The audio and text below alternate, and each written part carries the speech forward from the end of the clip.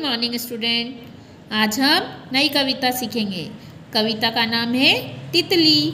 सुबह सवेरे आती तितली, फूल फूल पर जाती तितली। हरदम है मुस्काती तितली, सबके मन को भाती तितली।